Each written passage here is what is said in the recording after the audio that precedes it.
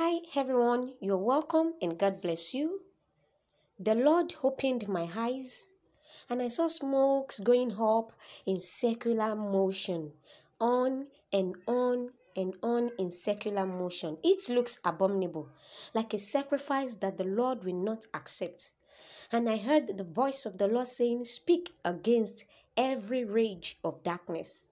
Speak against every rage of the enemy. The scripture says, In coming together, surely they shall come together, but it shall be to nothing.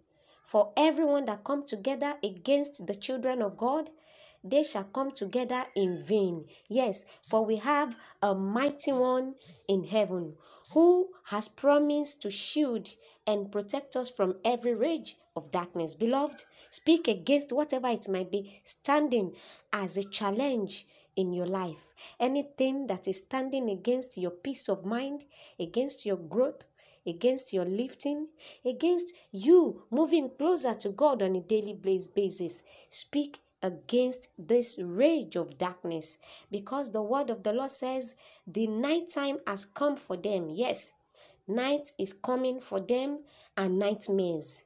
They shall experience terror for victimizing the people of God, for God takes the side of his own people. Beloved, God is with those who follow and obey him. Praise God. We speak against every rage of darkness in Jesus' name. Peace. God bless you.